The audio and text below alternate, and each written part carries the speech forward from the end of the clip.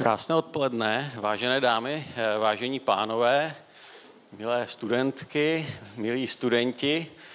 S potěšením vás vítám na dalším běhu fyzikálních čtvrtků.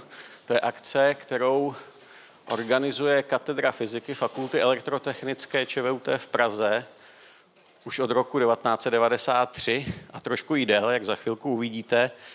Přinesem tady takový skvost.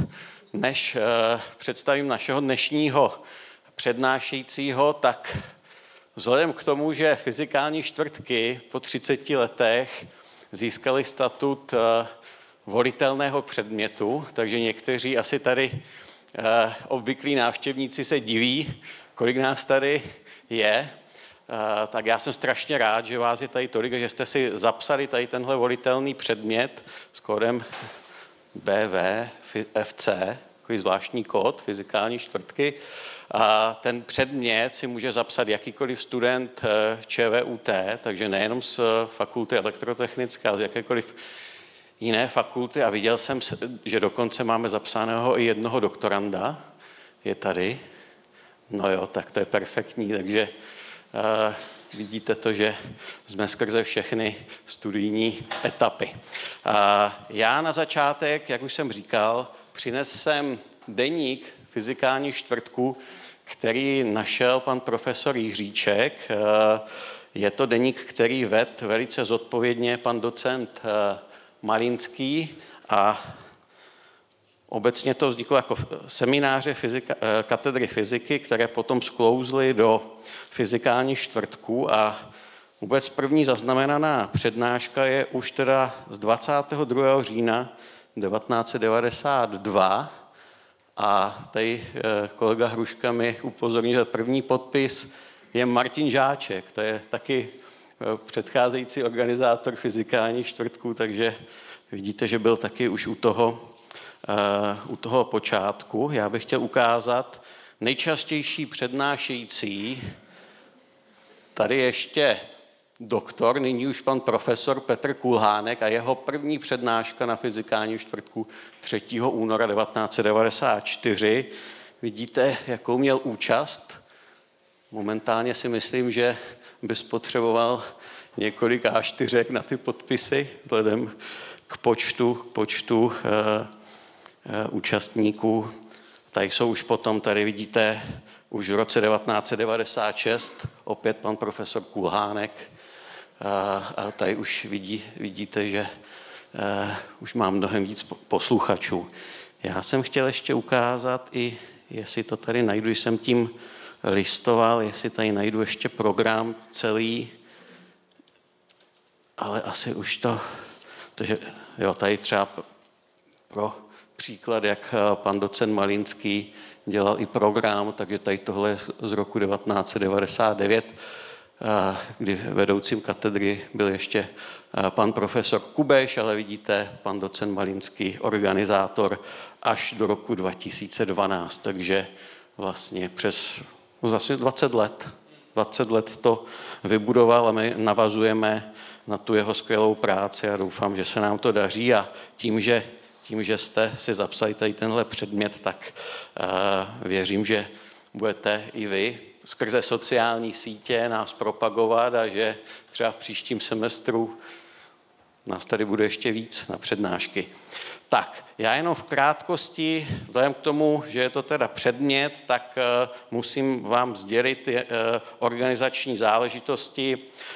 To znamená, abyste získali zápočet z toho předmětu, tak musíte být eh, účastní na 75% přednášek, bude jich 12, takže eh, se to spočítá, to je minimálně na devíti přednáškách, byste měli tady být přítomní. Eh, k tomu rovnou nechám kolovat prezenční listinu, kam se mi prosím vás podepište, a já budu budovat takovýhle deník, jak pan docent Malinský, budu to tam lepit. Takže tam budete zvětšení a za dalších 20 let, až to tady někdo bude prezentovat, tak tam budou vaše podpisy.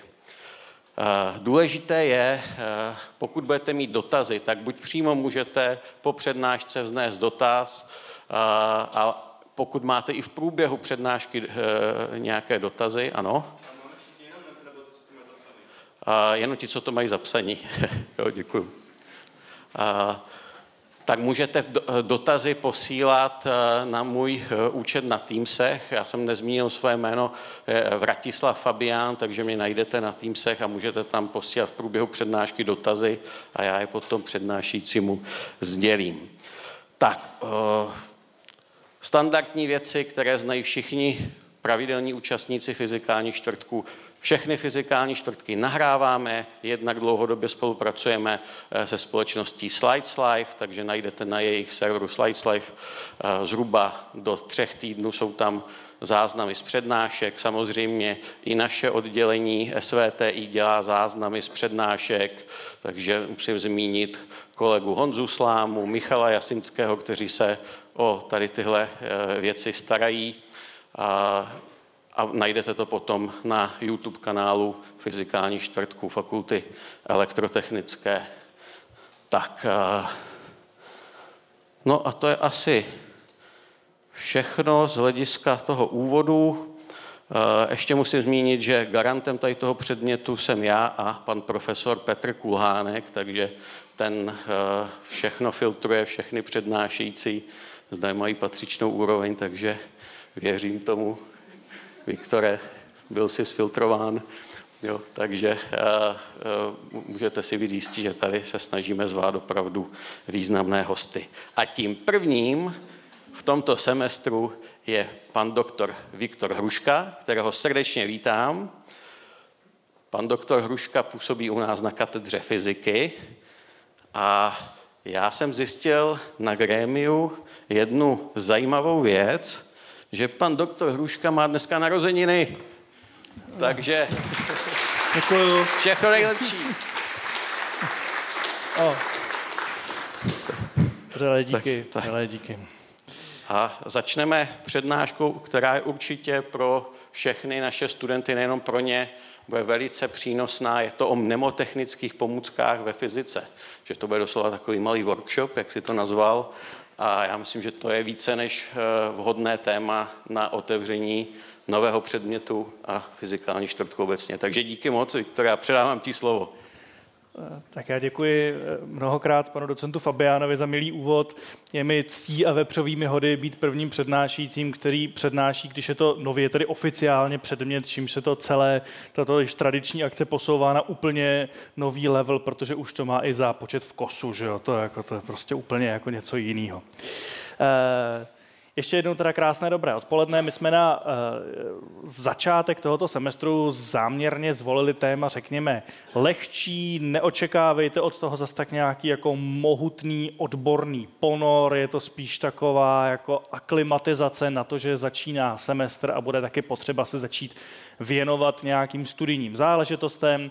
Já jsem si vybral to téma mnemotechnických pomůcek, protože jsem jich hezkých pár měl, měl někde jako v zásobě v šuplíku, jako, jako spíš tak nějak pro svoje potěšení a tak jsem se nějak rozhodl, že některé z nich tady, některé z nich tady představím. V žádném, opakuju, v žádném případě e, toto téma nemůže být dneškem vyčerpáno, to skutečně ani přibližně. E, naopak si myslím, že když si najdete spoustu vlastních a nových a pokud možno ještě nějaké další vynaleznete, tak to bude jedině a jedině dobře. Já bych se prosím pěkně na samotný úvod rád tak nějak jako zeptal orientačně. Eh, existuje taková oblíbená jako floskule šířená už na přinejmenším středoškolském vzdělání a v nějakých dalších segmentech našeho školství také, nebo nejenom našeho. A ta takový oblíbený výrok zní, běžte studovat matematiku nebo fyziku, protože se nebudete muset nic moc učit, protože si tam dá všechno odvodit. Mohl bych poprosit jenom jako tak pro orientaci, kdo jste se s nějakou mutací tohoto výroku někdy v životě potkal? Ruce vzhůru. Ano, děkuji mnohokrát. Pro YouTube doplňuji, že je to tak asi 80% lidí. A stejně tak bych poprosil, kdo už jste přišli na to, že to je blbost. Ano, prakticky stejný, ne vyšší počet. Ano. Eh, zkrátka jde o to, že Ačkoliv jistě není cílem učit se matematiku nebo fyziku stejným způsobem, jako se třeba učíme slovíčka z angličtiny, tak hold e, něco člověk v té hlavě mít musí a tvářit se, že ne, ať už proto, že se to dá odvodit, a, nebo proto, že se to dá dohledat. E, netvrdím, že to je vyloženě lež, ale minimálně je to populistický výrok. Prostě, prostě, to, takhle v praxi, prostě takhle v praxi nefunguje. Další oblíbená záležitost, která se tak nejrůznějším způsobem jak si šíří, je to, že nám nejde o ty jako encyklopedické znalosti, ale že jdeme zejména po principech. To už se ani neptám, jestli jste někdy slyšeli, to jste slyšeli předpokládám úplně všichni. A uh, upřímně řečeno, všednodenní realita někoho, kdo jak si cvičí fyziku, svědčí o tom, že lidi jsou si často ochotní zapamatovat naprosto neuvěřitelné množství věcí, aniž by si v nich sjednali sebe menší pořádek. Dovolte mi to ilustrovat eh, na, na asi jako příkladu z nejtypičtějším na této fakultě. Když k někomu přijdete a ideálně teda k vlastnímu studentovi, a eh, zeptáte se ho, zdali by vám laskavě nenapsal Maxwellovy rovnice. Tak ten ideální průběh ve formátu jde nám hlavně o ty principy, by měl vypadat tak asi zhruba takhle. Dobře, chcete Maxwellovy rovnice, pojďme začít například, já nevím, s Gaussovým zákonem elektrostatického pole. Ten říká, že pole elektrické indukce vzniká a zaniká v místech, kde máme alespoň nějakým způsobem rozptýlený náboj volných nosičů. To, že vzniká a zaniká, to měříme diferenciálním operátorem divergence. Tady máme to pole vektoru elektrické indukce a vzniká a zaniká nám teda v místech s nenulovou hustotou volných nosičů nábojů. Kde máme tu reakci materiálu, ptáte se, no ta už je tady, protože prostě pole vektoru elektrické indukce se nám sestává z vektoru polarizace dielektrika a příspěvku vnějšího elektrického pole. Tak takhle zhruba nějak jako vypadá v ideálním světě, prostě učíme hlavně ty principy a studenty zkoušíme hlavně z těch principů.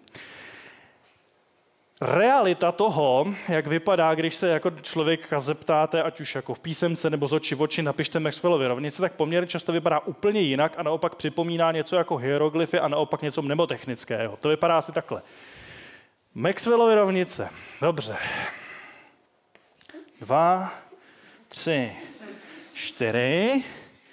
Nějaký tečky tady byly, tady byly nějaký křížky vektory chtěli, to jsou vždycky šťastnější, když tam takhle jako jsou. A teď je tady něco takovýdleho a dál nevím. Jo? E, v lepším případě blíže zkoušce a dál už vím, ale zkrátka to, to nepřipomíná ani náhodou řešení eh, nějakých problémů typu jde nám hlavně o principy. Já se tomu nechci zase tak jako za každou cenu úplně vysmívat, protože uh, zkrátka součástí nějakého jako hlubšího pochopení je to, že čas od času si člověk něco do té hlavy naskládat musí s tím, že když se s tím párkrát projde kolem baráku a třeba si to přečte ještě jednou, tak to jako zapadne na své místo i ve, ve smyslu těch principů. No, ale prostě jako bez nějakého základního naučení to těžko, to těžko jde. Čili k tomu základnímu naučení už jako občas není špatné, když máme nějaké pomůcky na to, jak se to zapamatovat. Mimochodem, eh, výuka fyziky a matematiky v žádném případě není jediným, ani náhodou, není jediným jako, jako oborem, ve kterém člověka napadlo eh, vynalézat eh, různá schémata, ať už jaksi k tomu, aby ty věci mu lépe klouzaly do mozku, anebo už jenom čistě pro vlastní pobavení. Tady jako například příklad z něčeho úplně jiného uvádím něco, co se vypadá jako bloky kódu, ale ve skutečnosti je to pomůcka na, na slova hitu od Beatles. A podobných záležitostí můžeme pochopitelně jako sestavovat eh, velké množství a dnes to bude o těch, které se týkají eh, matematiky a fyziky, samozřejmě nejlépe zejména, nejlépe zejména té fyziky. Pojďme se na úvod eh, podívat na některé jednoduché příklady, včetně toho, co se taky například může stát, když jsou pochopeny nesprávně, protože bohužel se stává, stává se dnes a denně, že spoustu lidí je ochotnou uložit si do hlavy opravdu velké množství věcí, aniž by tušilo, proč je tam mají. Eh, myslím si, že z oblasti nějakých přírodních a přírodně technických věd eh, eh, je jedna věc, která je podle mého názoru v české populaci naprosto nepřemožitelná. Čeština je skvělý jazyk, který působením tady obrozeneckých věců v 19. století umožňuje jednu věc, kterou si myslím, že by nám jako celý svět mohl závidět, kdyby o ní věděl. A sice, že jenom z koncovky slova jsme schopni poznat, kolik valenčních elektronů má ten či který atom. A tu, eh, tu posloupnost, ní na ty i ty, či ty, či či ový, čelí, to jako mají tendenci lidi umět, má, je, je taková tendence, aby to v těch mostcích zůstávalo, často už teda bez toho, co to zcela konkrétně znamená. Takže když potkáte na ulici někoho, aby vám jako řekl, nebo zdali ví, co toto znamená, tak se mu zpravidla něco jako, jako, jako v očích rozsvítí, že už to aspoň někdy v životě slyšel. A když se jako zeptáte, co to znamená, tak zpravidla buď to neví nic, anebo začne říkat nějaké velmi obecné záležitosti typu, jo, to je ta chemie, zatím by mělo následovat, tak to je to, co se přidává do těch potravin, ale prostě eh, jak si ten, ten, eh, to meritum té věci se ztrácí. A myslím si, že dobrá mnemotechnická pomůcka je taková, která přece jenom proti tomu tomu alespoň trochu bojuje. Pojďme na nějaké naprosto konkrétní příklady. Jednoduchá pomůcka, jedna z mnoha je například Flemingovo pravidlo levé ruky, které se, jak známo, používá, pokud bychom chtěli vědět, kam působí síla Eh, kterou, eh, které, Ježišmana, která působí na vodič protékaný proudem, který je ještě navíc v magnetickém poli. Je to jedna z takových jako prazákladních pomůcek, rovnou jedna z takových, u kterých se nejčastěji dělá chyba, se mnou v čele, protože člověk začne prohlížet vlastní ruku, dokáže u toho spoustu velmi originálních a překvapivých věd o vektorovém součinu, aby následně zjistil, že se dívá na svou pravou ruku, stalo se mi to osobně mnohokrát. Tím hůř, že potom existují ještě pravidla pravé ruky, hrůza. Jo? Eh, další problém spočívá v tom, že existují mnemotechnické pomůcky, které sice jako vypadají hezky, ale jejich velký problém je, že se strašně snadno dají s něčím zaměnit. Například, že jo, známá pomůcka na to, jak se pozná, která funkce je konvexní a která je konkávní, což jsou dvě takové slova, člověk má i problém si to zapamatovat, tak jedna z takových jako klasických zní do konkávní kávu nenaleješ a průšvih ovšem spočívá v tom, že uvnitř té pomůcky není vůbec žádný vodítko, jestli naleješ nebo nenaleješ. To znamená, v momentě, kdy člověk někde jako potí něco nad nějakým papírem a teď se od něj očekává ta odpověď, je ta funkce konvexní anebo konkávní. A on by tam klidně napsal, celý graf má podtečnou, celý graf má nadtečnou, všechno by to jako zvládnul a jako spojit to s tím slovem. Tak přesně v ten moment se téměř stoprocentně stane to, že jak si zaváháte v tom, jestli naleješ nebo nenaleješ a celá pomůcka je k ničemu. Jo. Čili toto je příklad populární, ve finále často ne až tak úplně efektivní pomůcky. Jak se proti tomu tomu dá bojovat, je tím, že se například pomocí rýmu, rytmu, spodoby eh, to zařídí nějakým způsobem, aby tato nejednoznačnost tam být nemohla.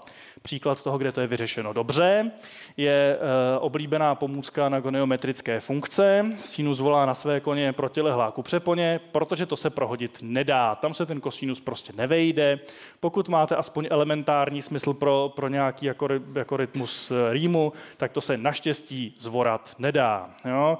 Čili ještě jednou, špatný příklad pomůcky, vhodný příklad pomůcky. Pochopitelně já se tady nechci až tak jako hluboce věnovat eh, chemii, když můžu tady nějak jako populisticky tvrdit, že minimálně třeba jako spoustu záležitostí z jaderné atomové fyziky a tak podobně se o tu periodickou tabulku prvku opírá. Taky tady jenom připomínám, eh, protože nelze mít eh, samozřejmě žádný podobný seminář o, o mnemotechnických pomůckách a pominout ty, které se týkají periodické tabulky prvků. Těch existuje mnoho, že jo, například na chalkogeny, což je taková ta skupina ta s tím kyslíkem nahoře, tak tam je taková ta známá pomůcka o slečno, sejměte též a teď na to polonium je potřeba vymyslet něco, co by nebylo tak moc košilatý a to už si jako vzhoříte sami. A já tady s dovolením jako dávám jenom tu, podle mého názoru, úplně nejkrásnější a sice pomůcku na lantanoidy a sice laciné ceny prasat nedovolili Prometeovi smésti Evropu, když tehdy dýchali horkou erotickou tmou i byšku lučního. Mimochodem, Tohle je přesně ten typ výroku, který je sice jako hezký, sympatický, je teda pravda, že tady, aby, jako, aby tohle fungovalo, tak některé ty jako eh, prvky člověk musí aspoň trochu znát, protože ty, protože ty písmena jsou tady už jako poněkud rozházená. Na druhou stranu někdo, koho eh, bude někdo zavile zkoušet z toho, jestli zná všechny lantanoidy, patrně už jako nějakou větší obeznámenost eh, s periodickou tabulkou mít bude.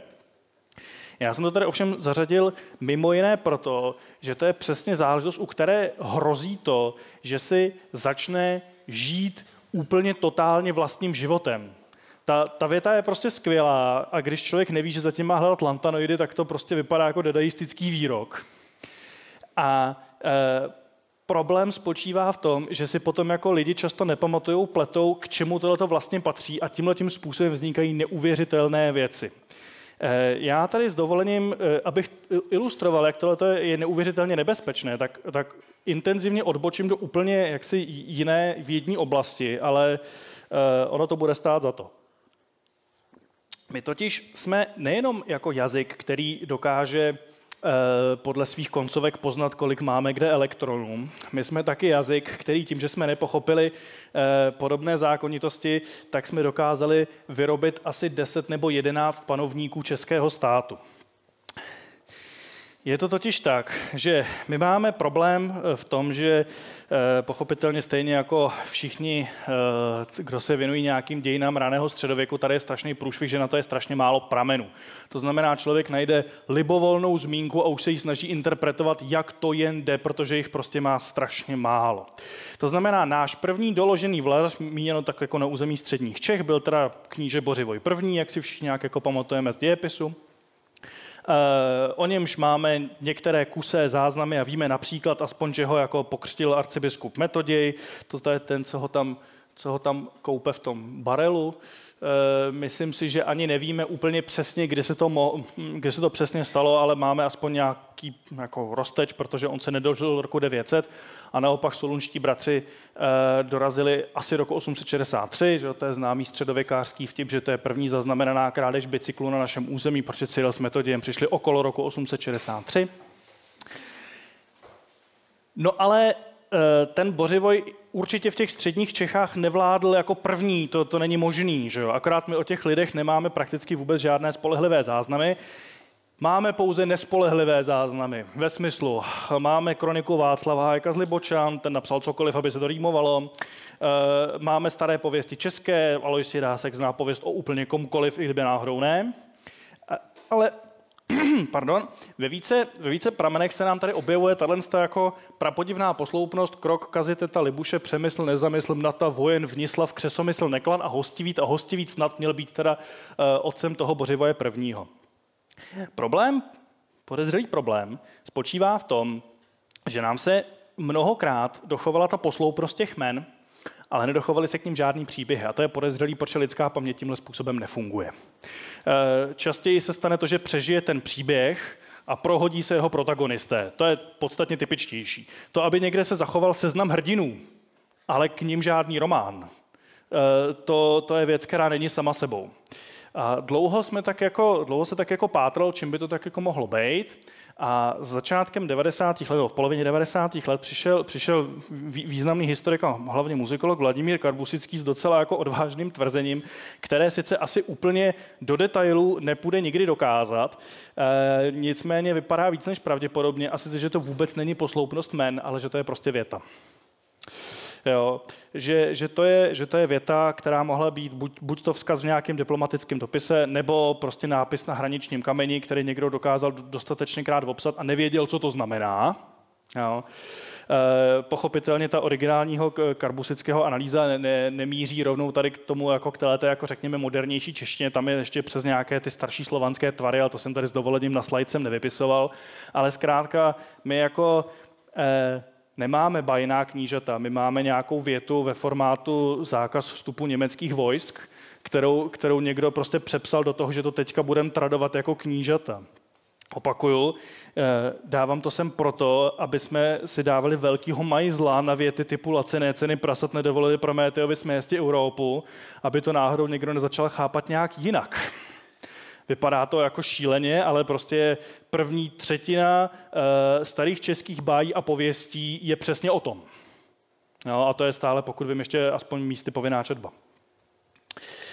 Aby jsme se teda dostali pro boha zase zpátky k něčemu, o čem tady dneska má být řeč, eh, tak eh, podobně jako je, potřeba si zapamatovat, eh, jak si nějaká písmenka kvůli tomu, aby se z toho postavila periodická tabulka prvků, tak podobné úlohy samozřejmě máme i v tom tělese fyziky jako takové. Bylo by jich hodně, vybral jsem, vybral jsem jedno konkrétní. Někdy během 19. století, už někdy eh, krátce po roce 1800, si začali všímat astronomové, že hvězdy, které pozorují, mají jiná spektra. Samozřejmě k tomu, jako, nebo, nebo že se dejí nějakým způsobem dělit podle toho, jaká mají typická spektra. Pochopitelně v tu chvíli ještě neměli eh, ani ty přístroje pro nějakou velmi konkrétní analýzu. A už vůbec samozřejmě tou dobou ještě neměli úplně jasno eh, v tom, jak souvisí spektrum hvězdy s tím, z jakých prvků je například složena a tak dále a tak dále. Nicméně v průběhu toho 19. století eh, čistě podle podobnosti těch hvězdných spekter začaly ty eh, hvězdy třídit do jednotlivých spektrálních tříd, které byly na základě, řekněme, hrubé podobnosti těch spekter, no a pojmenovávali je nejjednodušším možným způsobem, třída A, třída B, třída C a tak dále a tak dále. Eh, významného zjednodušení dosáhla v roce 1901 astronomka Annie Jump Cannon, eh, kteráž to už znala teda eh, Balmbravy práce o vodíkových čarách, kromě toho byla sama dobrá pozorovatelka a zkrátka ne, neničila práci kolegů, ale jak si spermutovala ty třídy tak, aby konkrétně ji odpovídaly nějakému fyzikálnímu principu. To znamená, z těch původních tříd A, B, C, D se stalo nějaké jiné řazení, ale ty písmenka zůstaly. Tím pádem bylo potřeba nějakým způsobem zapamatovat, jako eh, v jakém pořadí ta písmenka mají být a k tomu žádné inteligentní vodítko není. Jo. Přesně proto eh, přišli, přišli, na svět, přišli na svět nějaké mnemotechnické pomůcky, jinak, aby jsme si to nějak konkrétně představili, tak tohle, eh, co mám tady na tom slajdu dole, eh, s trestu hodně nepopsanými osami, za což se omlouvám, tak to je zobrazení, které je strašně nevděčné někde říkat jeho název veřejně, protože se u toho téměř nelze nepřeřeknout, takže to je Herzsprung Raslův diagram hvězdných velikostí. Na ose X je povrchová teplota, povrchová teplota hvězdy, na ose Y je absolutní hvězdná velikost. A my tady vidíme dole jako poznámku k tomu, jak vlastně jsou ty jednotlivé třídy podle Any Cannon Jump, to znamená eh, postupně podle teploty od nejteplejšího k nejchladnější, je to, jsou to teda třídy O, B, A, F, G, K, M, aspoň jsou tam potom ještě některé další. Na to existuje eh, mnemotechnická pomůcka OBE Find Girl Kiss Me Right Now, eh, která přesně jako dává, dává, to správné, dává to správné pořadí těch písmenek, tak, tak aby to dávalo to rozumné, rozumné řazení těch vězných kategorií. Kromě toho prvního, už teda legendárního výroku, eh, v dnešní době už možná i maličko jako za, za hranou toho, co považujeme za úplně slušné, eh, tak samozřejmě eh, lidová tvořivost pokračovala dál a je tady stejně tak kvalitní mnemotechnická pomůcka, která si zároveň stěžuje na to, že pouze velké federální granty dostanou nějakou podporu a zbytek ostrouhá. Jo, a i v tom se dá, i, i v tom se dají ty hvězdy i v tom se dají ty hvězdy najít. Další velkou třídou možných mnemotechnických pomůcek by byly nejrůznější malůvky a schémata. Tady je jako veliký problém v tom to udělat tak, aby to úplně nestratilo toho ducha té disciplíny tak, jak, ho, tak, jak má být předáván. Konkrétní, zcela negativní příklad. Eh, k mému zděšení stále ještě existují učitelé nejenom na středních, ale i na základních školách, nebo na základních i na středních, těžko říct, je horší, eh, který jako učí svoje studenty tenhle ten na stokrát prokletý trojuhelník, protože nevěří tomu, že jejich žáci jsou schopni upravit rovnici, eh, ve které se vyskytuje jeden zlomek. Čili toto je, toto je pomůcka na to, jak používat eh, jak si různé tvary toho nejjednoduššího tvoru Ohmova zákona, jak jste bez pochyby již pochopili. Eh, užití této pomůcky je zcela přímo čaré. I se rovná U lomeno R, U se rovná R krát I a tak dále. Je to vyloženě jako pro pitomce. Eh, upřímně řečeno, tohle to nemám moc rád, protože ano, v rámci nějakého memorování lze na chvilku rezignovat na nějaké záležitosti, jak si Eh, hlubokých spojení a, a pochopení s, s velkým vhledem, ale upřímně řečeno se mi nechce úplně rezignovat na to, že by lidi neuměli pracovat ani s jedním zlomkem. Jo. E, viděl jsem od tohohle z toho úplně jako příšerný příklad někdy před 14 dny, Eh, kdy mi osud určil velmi narychlo přestupovat na letiště ve Frankfurtu.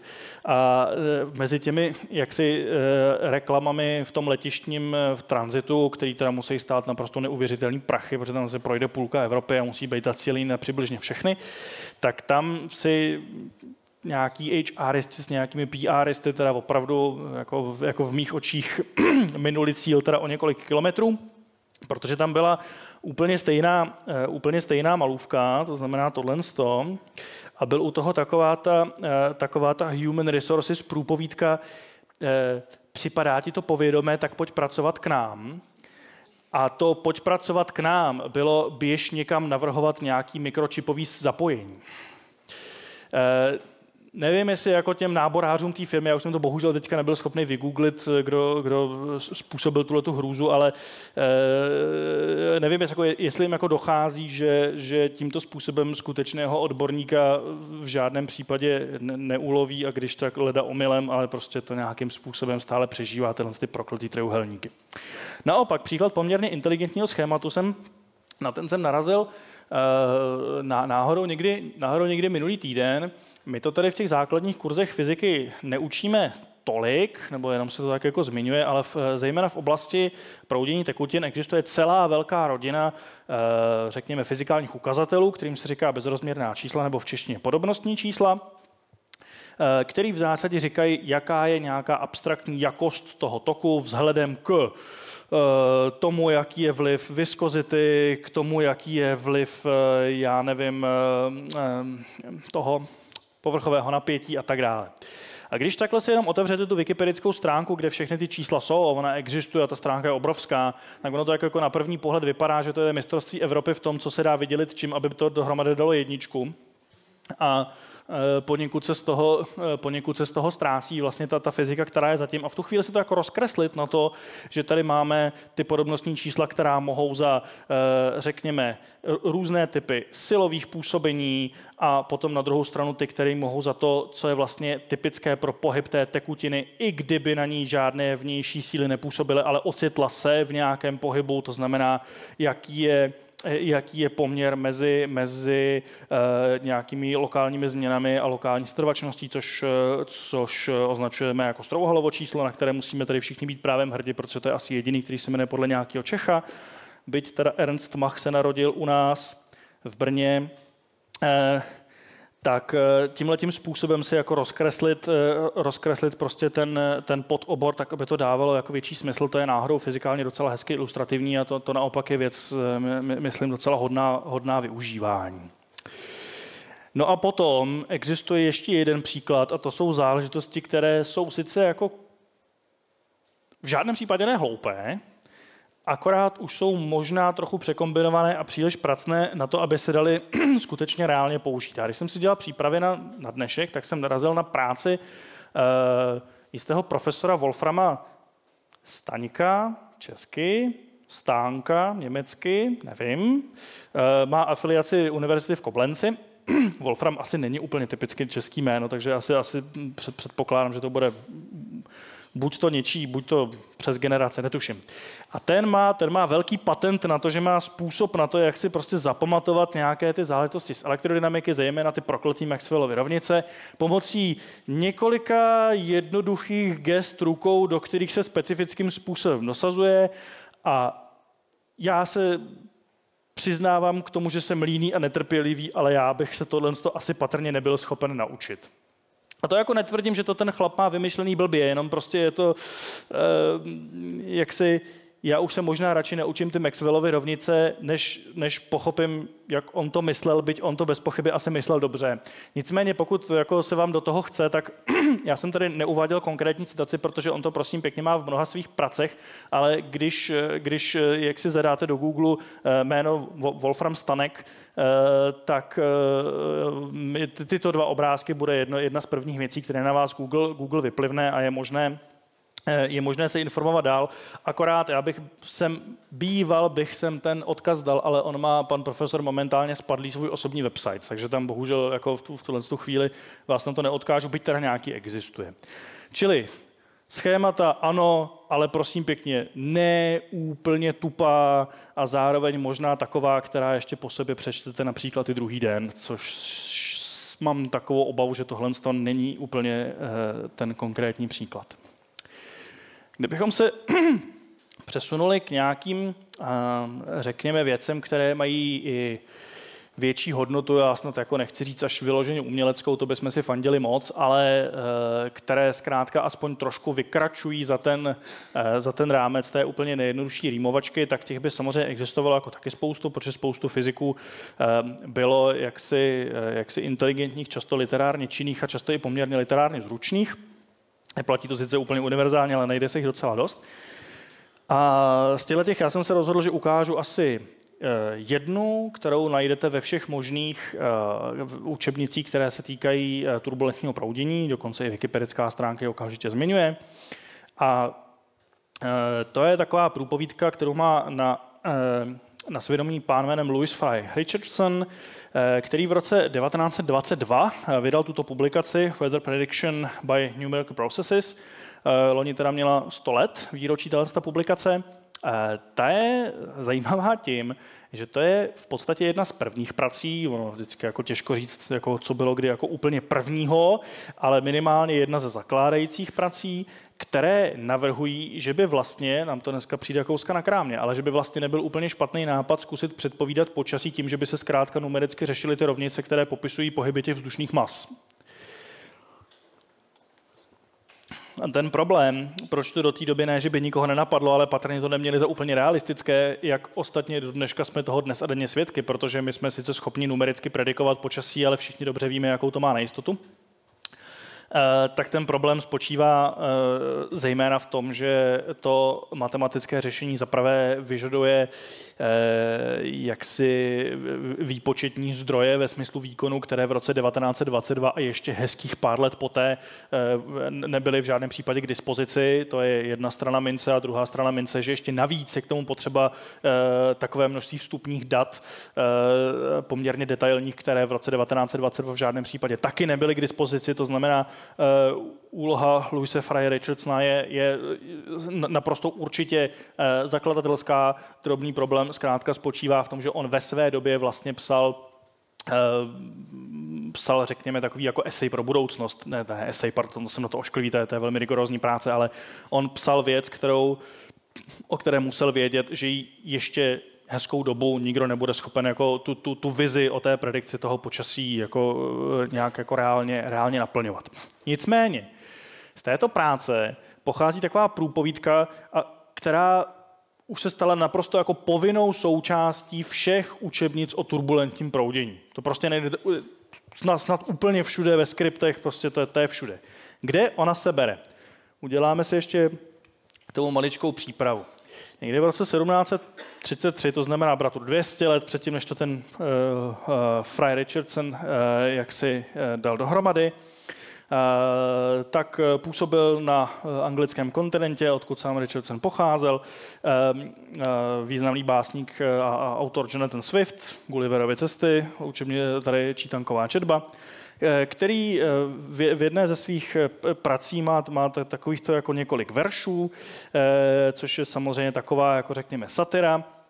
Eh, o tom, že, o tom, že teda přírodovědec eh, pozoruje tu blešku. Bleška má na sobě eh, ještě menší blešky, které na ní jaksi na, na, na ní hodují a ty menší mají ještě ty menší a tímto způsobem se vlastně vytvoří takový ten jako hezká obraz, obraz té society, kdy vlastně ten větší vždycky parazituje na tom menším a ten má ještě menšího a tak dále a tak dále. A tak to prostě to e, probíhá až do nekonečna. Ostatně tady je to zcela explicitně explicitně napsáno, že až do nekonečna a akorát to končí tím, co Swift teda chtěl sdělit, že každý básník je, je ve skutečnosti vykrádán tím, který teda přijde až po něm. Tohle co se stalo takovým jako typickým kánonem patrně jako v té britské literatuře a když se o, nějakou, o nějaký ten pátek později v roce 1872 chopil pera Augustus de Morgan, pokud vám to jméno připadá nějakým způsobem povědomé, tak, tak de Morganova pravidla pro práci s množinami, tak to je on. Eh, který jak si si tohle to půjčil k tomu, aby eh, explicitně vystihl takovou, už, on už přemýšlel zcela evidentně fraktálně o tom, že prostě máme ty blešky a menší blešky a naopak jiné blešky by mohly být větší blešky a takhle ten prostě ten, ten eh, vesmír svého druhu invariantní v tom, jestli uděláme zoom in nebo zoom out, a to, nad, nad tím se tak jako eh, krátce zamýšlel ve své, ve své, eh, ve své krátké veršovánce. A tu, teď se, pardon, konečně dostávám k meritu věci, tuhle tu zcela evidentně sparodoval, ve smyslu vzal si z ní příklad ten ten uh, Louis Fry Richardson a místo toho, aby měl blešky a menší blešky, tak měl, tak měl víry a menší víry. Uh, konkrétně si myslím, že tu básni bychom, nebo básničku, říkanku, uh, bychom si, mohli, bychom si mohli rozebrat. On teda zcela konkrétně tvrdí, že uh, na velkých vírech, nebo velké víry mají, vě, mají menší víry, které se krmí tou rychlostí těch větších vírů a zase naopak ty menší mají ještě menší a tak dále a tak dále, až do té doby, než to celé sežere viskozita. Eh, ta věc, na kterou on naráží, tak to, je, tak to je teorie, kterou my dneska moderně známe pod pojmem nějaký statistický popis turbulence a turbulentní škály. Jde zkrátka o to, že dokud, dokud se bavíme o velkých oblastech uvnitř toho proudění, tak tam nám skoro platí zákon zachování mechanické energie v tom smyslu, že vliv viskozity je malý, eh, čili ta energetická hra se odehrává někde mezi hustotou kinetické energie a tlakem, ale do čím menších a menších a menších eh, škál zalézáme, tím větší je ten vliv té viskozity, která nakonec všechny ty úplně maličké pohyby utlumní, ale to musíme slést na opravdu mikroskopické škály. On si tohohle z toho povšiml e, při, jak to teda sám píše, e, při nějakých vyhodnocováních e, pozorování mraků. Tady máme kumulus, o kterém on píše asi o odstavec nad tím, proto jsem ten, proto jsem ten obrázek zvolil, kde je vlastně svého druhu přesně vidět to, co ten Richardson chtěl, to znamená, my tady máme mrak jako blázen, eh, ten bychom mohli opticky rozdělit určitě na nějaké podskupiny, tady nějaké tyhle ty chomáčky, jenomže ty chomáčky se dělí ještě na menší chomáčky a tak dále a tak dále, do té doby, dokud nezalezeme na škály, pro které už bude to viskózní působení dominantní. To je vlastně jako duch téhle z té jeho básničky, která se opravdu, říkám, vyskytuje úplně všude, jako v, jakýchkoliv textech, které, jsou, které, se o turbulenci, eh, které se o turbulenci baví. No. Mimochodem je, je, docela, je docela náročný, eh, mimochodem je docela náročný tuhle tu věc, která se všude tiskne zhruba tak asi tak, jak jsem ji vytiskl tady. To znamená srovnaný, jako by to opravdu byla říkanka v těch, v těch jako odražených verších, tak je to docela těžký v tom jeho originálu najít. Je to tam, je to na straně 60, 66, hnedka pod nějakým eh, jako vyhodnocením pozorování, který mají nějaký piloti a další kolegové. A vůbec, vůbec to tam není napsané jako básnička, je to tam takhle nenápadně, eh, nenápadně na dvou řádcích. My tady všichni aktivně zkreslujeme Richardsona, protože on to samozřejmě v žádném případě jako básej nenapsal, on to napsal do své poměrně rigorózně míněné práce, jenom jako takovou, jako, takovou odbočku z jednoho odstavce chce a, a jako to tak obvykle bývá, to je to, co ho přežilo hlavně. Chudák. Tak, stejně tak, jako existují, stejně tak jako existují básně, tak pochopitelně existují i příklady nějakých jako písní, tak existuje mnoho. Eh, tasíme jenom jednu, pro, pro změnu česká, dá se krásně zpívat na melodii Teče voda proti vodě, akorát potom se, se používají poněkud jiná slova. Autorem této písně je docent Obdržálek z Matematicko-fyzikální fakulty. Mimochodem těch slok existuje mnoho a mnoho, celý to končí odvození Bernoulli Horovnice. Uh, Akorát, akorát, myslím si, že stejně jako u té Richardsonovy básničky, tak tady se potýkáme jako s jedním problémem. Když se vrátím možná radši zpět k tomu Richardsonovi. Tohle je velmi pregnantní schrnutí komplexních pozorování a v momentě, kdy člověk zná statistickou teorii turbulence, tak prostě je potěšen, jak to byl schopen někdo jako pregnantně sdělit. Ale takhle se to fakt nedá naučit. Jo.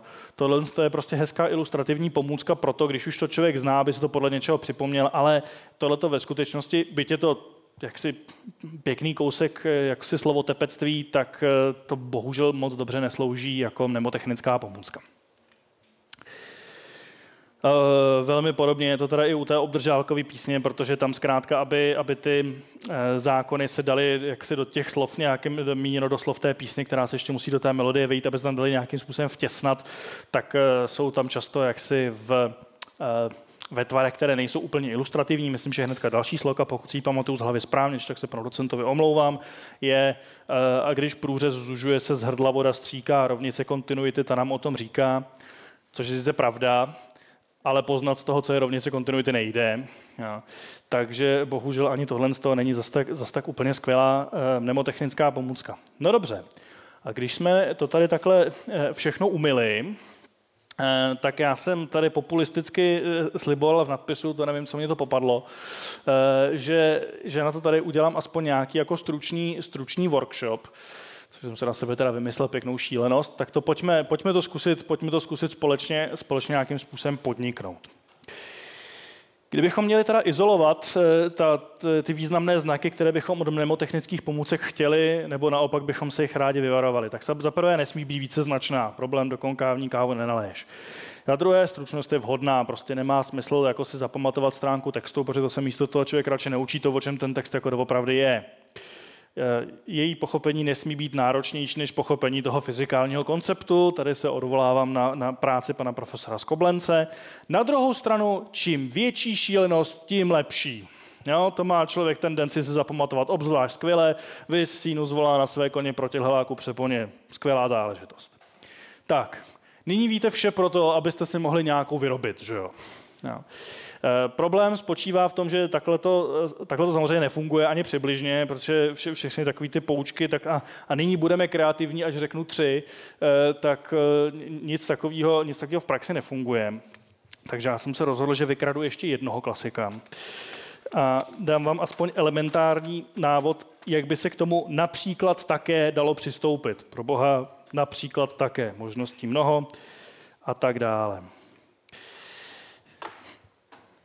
fundamentální osoba eh, pro naší fakultu, protože to je osoba, která vymyslela slovo robot. Že jo? Jako koho už jiného bychom tady eh, eh, uměli ústa hromu citovat. Tak mimochodem, jak si Karla Čapka, jste asi všichni nějak byli vystaveni působení povídek z jedné, ba i z druhé kapsy, často třeba ještě, já nevím, bílé nemoci, někdo možná četli RUR, zejména kybernetici doufám, že četli RUR, protože jinak jak si nevědí, o čem jejich, o čem jejich obor ve skutečnosti je, včetně umělé inteligence, kterou to v podstatě končí.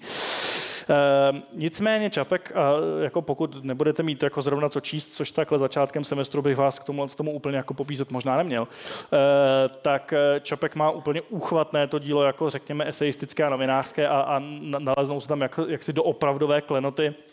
E, hodné, hodné pozornosti. Často to ani není moc dlouhý. Eh, tohle je ze, to, to, to, myslím, že to bylo publikováno jako jednotlivé eseje, ale dohromady, kdybyste tohle to chtěli uh, najít, tak je to vydáno v Marcias a na okraji literatury, myslím. Rok 1931, neberte mě za slovo. Čtu další úryvek.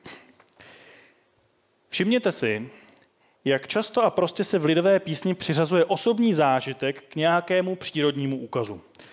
Sluníčko za hory zapadává a mne pobolívá má hlavička, holuby letí přes pole a můj milý mne už nemá rád. Nebo okolo Věšehradu teče vodička a má panenka tam stojí s jiným.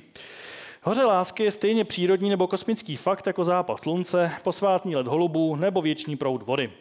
My, kteří jsme se odcizili lidu, si netroufáme združovat své city a myšlenky s prostou přírodní skutečností. Neřekneme například teče voda dokola, že senátor Prášek je politická mrtvola, ani nezačneme svůj článek slovy, kolem pražských věží holuby se točí a já nesouhlasím s profesorem Rádlem. Eh, profesor, pardon, profesor Emanuel Rádl, významný filozof přírodních věd. Eh, Pro nás ovšem nemá profesor Rádl pranic společného s holuby, pro lidovou poezii však dejme tomu nešťastná láska a jalovec mají něco společného a sice tu okolnost, že existují a že se dokonce poněkud rýmují. Jak pak ten jalovec pěkně pěkně voní, že, že za mou panenkou jiný jiný chodí. Tajemná je moc rýmu, nebo tím se združují věci v nečekaný vztah. Málo se uvažuje o absolutní tvůrčí funkci rýmu, jež váže k sobě představy, které by se jinak asi nesetkaly.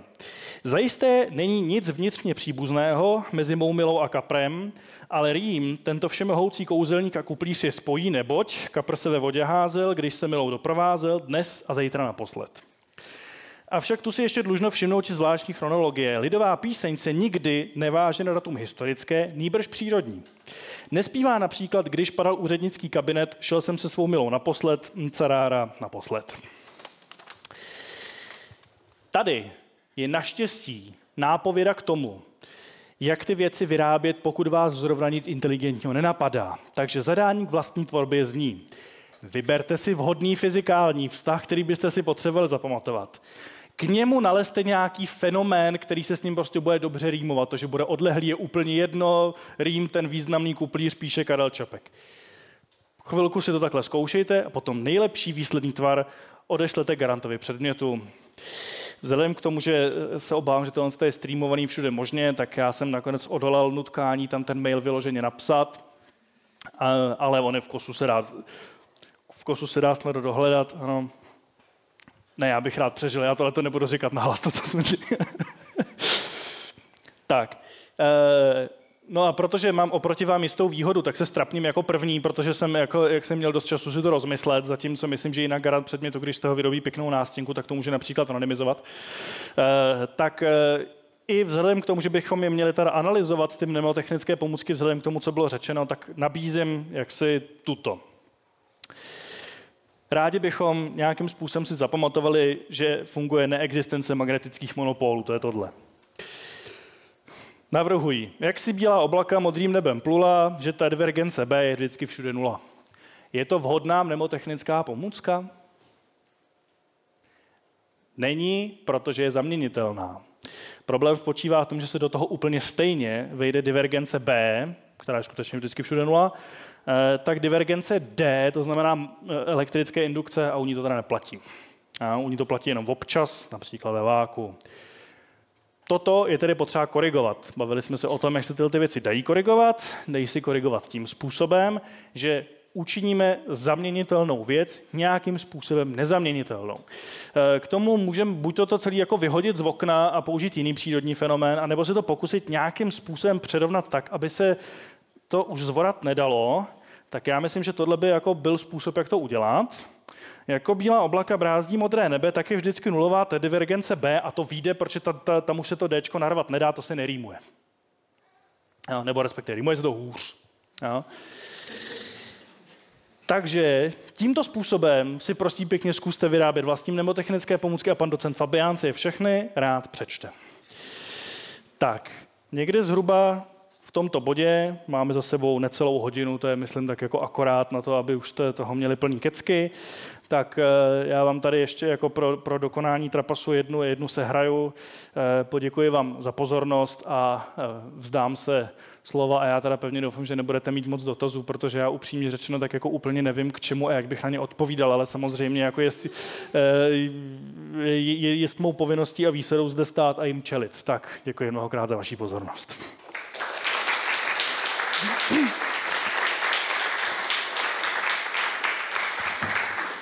Viktore, moc ti děkuju. Já myslím, že to byl skvělý úvod do tady toho semestru.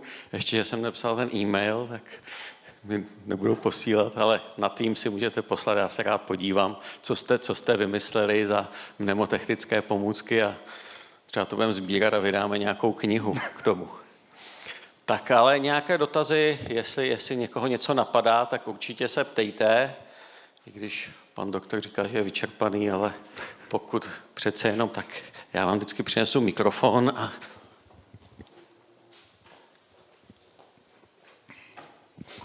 Dobrý večer, pane doktore, děkuji za přednášku. Já jsem jenom jakožto absolvent předmětu fyziky tady na kybernetice a robotice se chtěl zeptat, uh, oblíbené mnemotechnické pomůcky se třeba týkají vektorových identit. A myslím, že kdo prošel kurzy pana profesora Bednaříka, tak si nemůže nepamatovat bác minus cáp. Bác minus cáp je, je samozřejmě dávno a legendární, ano. E, problém, ano, bác minus cáp je super mnemotechnická pomůcka, já teda s dovolením jenom pro ty, kdo nezná bác minus cáp, jenom aby... Aha, dobře. Tak za předpokladu, že vás v životě potká dvojný vektorový součin, říkám to dobře? E, dvojitý vektorový součin, tak to je něco takového jako Jo, počkejte, počkejte, počkejte, já už to rovnou píšu, já už to píšu jenom jako rotace, rotace. Uh, no, já to teďka z hlavy nedám, to je hrozný. Uh, A krát B krát C, že jo? No, jasně. Pro, pro blbce, já, jo, jo, má, má, máte, máte samozřejmě pravdu, tak potom... Jistě, samozřejmě. Tak, Uh, tak jak ono to je, bác minus cáp, to je potom takhle, že to je... Uh, proč já jsem tady z tohoto momentálně zkoušený? Můžete mi to někdo vysvětlit? To je takový narozeninový kvíz. Děkuju, děkuju. Tak mám to správně? Všude skalární. Fakt. Jo, to znamená takhle a takhle. No jo, no, dobře, už bych neudělal fyziku, fajn, dobrý. Takhle to lepší? Jo, tak. tak. A já jsem tady na sobě krásně demonstroval, proč je tohoto v zásadě nevhodná pomůcka, protože se sice jako u toho člověk zapamatuje si, jak je to teda s nějakou komutativitou, respektive jak to s ní spíš není, ale na druhou stranu, aby si člověk zapamatoval, eh, jak to nakonec všechno dopadne ve smyslu fyzikálních rozměrů, tak na to je to bohužel um, krátký, tak. Protože i to, jak jsem to tam měl předtím, to bylo sice špatně, ale trvám na tom, že by jako to ve smyslu indexu dávalo smysl a stejně to je, stejně to je úplně blbě. Jo. Ale ano, jasně, bác minus cáp je jedna, je jedna z velkých klasik, samozřejmě dá se to použít, eh, dá se to použít potom jako, jak si zobecněněji na eh, tu nejsvatější ze všech diferenciálně vektorových identit, a sice, že rotace, rotace gradient divergence minus Laplaceův operátor. Ano. Děkuji, děkuji za veškerý, za, za, za přípodotek. Kdo nějak, dál? Nějaký další, ano? Někdo chce další, jakou mnemotechnickou pomůcku? Tady pan doktor je připraven. Ne, tak asi už skončíme. Takže ještě jednou moc děkuji, Viktore, za krásnou úvodní přednášku. Děkuji.